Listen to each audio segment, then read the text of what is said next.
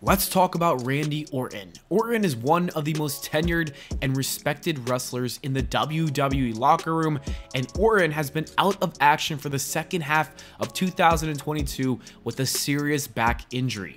This injury appears to be one of the worst injuries of Orton's career, and there is serious concern about his wrestling future. Although Orton has only been gone for around 6 months, his absence on Raw is apparent and it's time to fully address why WWE is badly missing their resident Viper. What makes Orton so special? Why is he so loved and respected by fans as well as the locker room? Well, to examine this, a career retrospective is in order, but before we get underway, this quote from former WWE champion Kofi Kingston highlights just how unique of a performer Orton is. Kingston stated in an interview with the Daily Star, as far as Randy is concerned, I think he has the ability to do so many things so well. He looks a certain way, he flexes in a certain way, you feel that. That's stuff that makes you great and not just good. What Randy does is unique in that way. He does so much without doing anything at all so I'd have to put him in the conversation as being one of the greatest. To be able to last that long, he's even more compelling now in a lot of different ways. So, as a performer, you can't have a conversation about the greatest without having Randy be in there, from the longevity alone. What a quote by Kofi Kingston. Orton began his main roster career in 2002. Orton would debut on SmackDown without a character and without any presence whatsoever as a wrestler. This would all change, however, when WWE made the executive call to have Orton be a part of the Evolution stable. The Evolution faction was the mastermind of Triple H and Ric Flair, who wanted to put a stable together featuring themselves along with two up and coming stars. This was basically a modern day version of the Four Horsemen, but nobody could have ever predicted just how successful the stable would eventually become. Initial plans called for Orton to be paired in the stable with Mark Jindrak, however, it was the game who made the call to switch out Jindrak with Batista, which was without question the correct move. Orton's work in the stable was tremendous. Orton began to come out of his shell and his character evolved, no pun intended, into the Legend Killer. The Legend Killer persona was one of the standout gimmicks of the Ruthless Aggression era and centered on Orton taking aim at legends on the way to the top of the WWE card. The gimmick truly took off when Orton began a feud with the legendary Mick Foley in the year of 2003. Foley had previously helped talents such as The Rock and Triple H ascend to elite level status, and now Foley was tasked with doing the same for Orton. The feud was compelling and drawn out over a series of months. While the feud was firmly about presenting Orton as the next big thing, Foley also brought his A game and made fans realize just how truly great he was. The feud would come to a close at Backlash in 2004 when Orton defeated Foley in one of the most brutal WWE matches in the history of the company. Orton had arrived after this match as fans now saw him as a credible, legitimate contender for WWE's top spot in the company, and this would be something that WWE had every intention of following up on.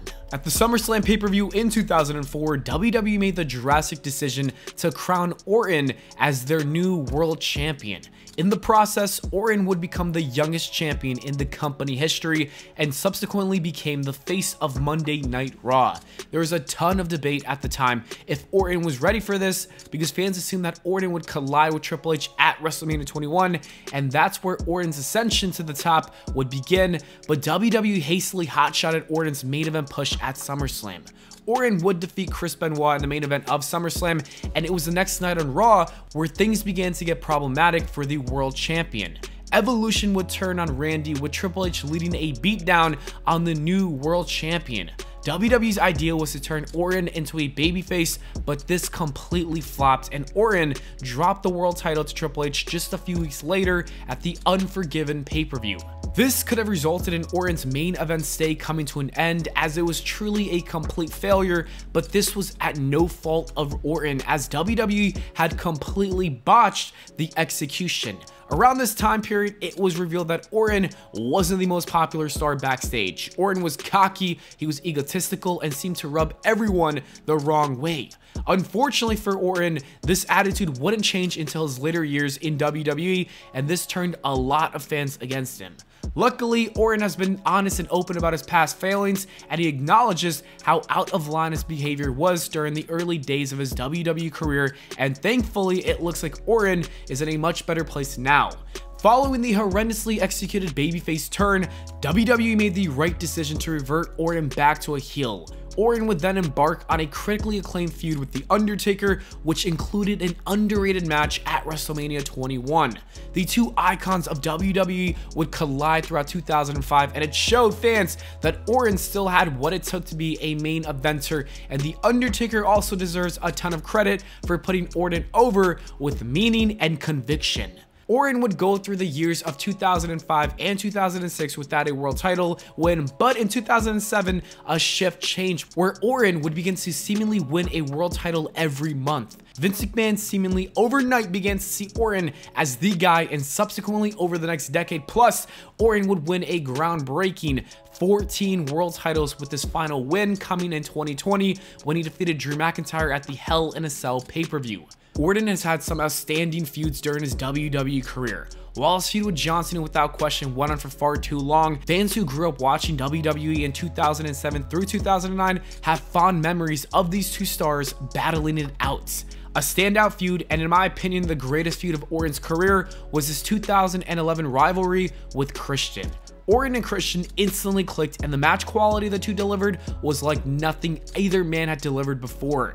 Randy would go on to call working with Captain Charisma a career highlight, and it wouldn't surprise me to see Orton suggest that Christian inducts him into the WWE Hall of Fame when his time comes. Orton has spoken extensively about how much love and respect he has for Christian, and it would seem fitting that Orton's favorite opponent inducts him into the WWE's established class of greats.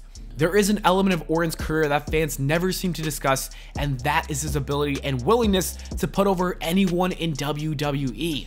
Throughout the WWE history, whenever WWE needed to push a lower card guy, Orton has seemingly been the one to put them over. Take for instance in 2011, Orton put over Mark Henry during Henry's first and only world title reign. Then fast forward to 2017 and Orton put over Jinder Mahal on a pay-per-view for months. Bear in mind, Mahal was basically WWE's resident jobber who went from enhancement talent to WWE champion overnight. It's not a controversial statement to say that a number of WWE stars would have had a problem with putting Mahal over, but Orton did it. In fact, he did it with grace and care. Over the past few years, Orton has emerged as a locker room leader. WWE wrestlers such as Ricochet, Madcap Moss, and even Riddle have discussed how much the locker room loves Orton, and how Randy is always available to watch the matches and give fair and grounded advice. This is a far cry from the Orton that was in WWE 15 years ago, and this type of presence is badly needed in the WWE locker room currently.